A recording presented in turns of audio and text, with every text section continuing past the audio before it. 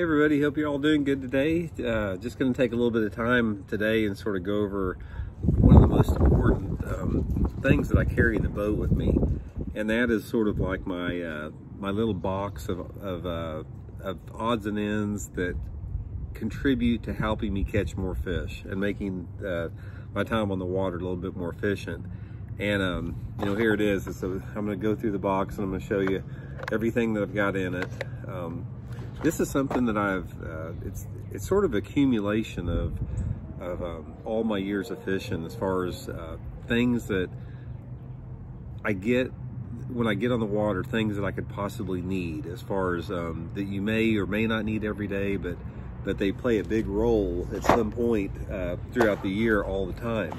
And um, it's sort of like um, a good box for everybody to carry in there, even if you're a, a non-tournament fisherman um, it sort of helps out. But what I want to do is i am going to go through the box here. I'm going to sort of show you what I got in it um, and sort of explain to you why I, I have what I have in it. Um, the first thing I have in here you'll notice is uh, fingernail polish. And I have a lot of it. I've got, see, probably one, two, three, four, five, six, seven, eight. I've got nine different colors of fingernail polish in this in this box here that comes in the boat with me every every tournament. And the reason I do this is for uh, color modifications, um, whether it be from drawing gills to, to, to coloring bellies to, you know, giving jig heads a little bit different look. Um, fingernail polish is an excellent tool to, uh, to modify on the water colors and it stays good. It doesn't chip off very well. It's pretty, it's pretty resistant. So carry a big selection of, of fingernail polish. Uh, second to that is, is my dyes. I carry um, a lot of different colors of dyes. I've got black chartreuse, red, orange, blue, um, a lot of different colors um, of dyes for my soft plastics. Because a lot of times, um, even though I'll keep my, say my jig and spinnerbait colors uh, fairly simple, a lot of times my trailers I'll modify with colors uh, particularly based upon the forage color, crawfish or whatever. And uh, dyes really allow you to do that. And another thing that dyes do, which a lot of people don't use them for, is they are a great tool to, um, to actually color or modify the color of hard bait.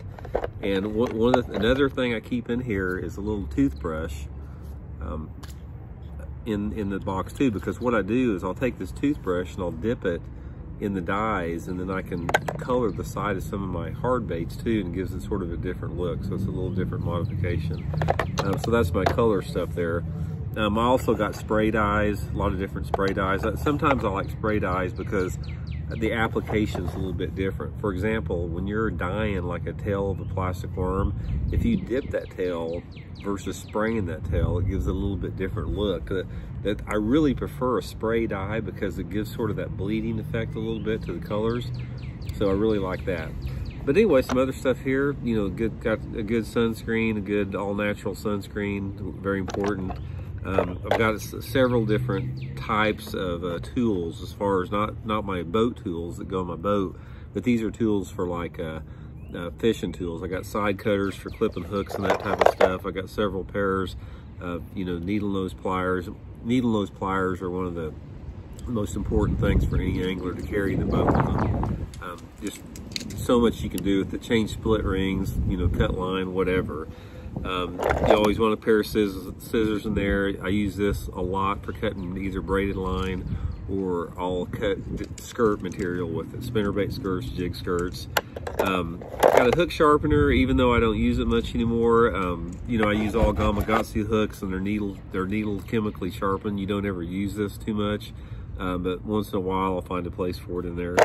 Um, always carry a knife in there. Mainly I use this for cutting apples, eating during the day, but you know, never know when you're gonna have to cut your way out of a trot line or whatever. Electrical tape for on the water repairs, uh, very handy. To always keep electrical tape and some duct tape in the boat with you. Um, super glue, I've got several sticks of super glue in here and I use that for a lot of different things, primarily for uh, securing uh, soft plastics to jig heads. That's a, that's a big thing for it, but also use it for uh, gluing lead strips on the jerk baits and that type of stuff. Um, I've got some more dye pens in here. Um, I've got several different colors of dye pens, orange, red, chartreuses. Again, uh, a dye pen will allow a little bit more precise uh, application of color, which is good. Um, couple more, let's see, a couple more pliers in there. Um, always carry a lighter with me in case you never know when you're gonna have to spend the night on the bank somewhere. And you, you, it's even though I know how to make a bow drill fire, it's always like a lighter to make it a little bit easier. carry a heavy duty file on the boat in the uh, box too and a lot of times this is for lure modifications if I want to take some finish off a bait if I want to take the paint down to the bare finish I can use this um, just a lot of different lot of different applications for it um, a little bit of lube in there but you know for my reels uh, squeaky parts uh, pliers whatever comes along with me um, scents you know, I'm a pretty big believer in scent. Um, I use a lot of different types of scent. Um, I don't know if it really matters that much as far as the brand or the type that you use, but one of the things I like in it is when I'm fishing slow, um, you know, worm fishing, flipping, that type of stuff. If I'm if I'm pretty dialed into a bite, you know, I'll, I'll have scent on it fairly heavily, and I think it makes a difference. I've seen I've seen at times where that can make a little bit of difference.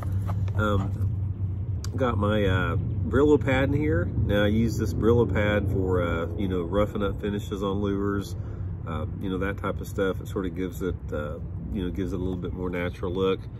Um, got some Kolin beans in here and, and I've got some, uh, you know, my, some of my uh, markers, which I don't like to use. I, and I never have until this year. The, this, the only reason I'm using them this year is I've got that, um, the, I'm running the Ranger aluminum that's got one well, so I'm having to mark my fish separate from my partners. But uh, normally I don't like to mark my fish. Um, I don't like that added stress on them of the buoys that puts on them, which it does, even the, even the clip-ons. But anyway, that's my box. Um, like I said, it goes in the boat with me every tournament.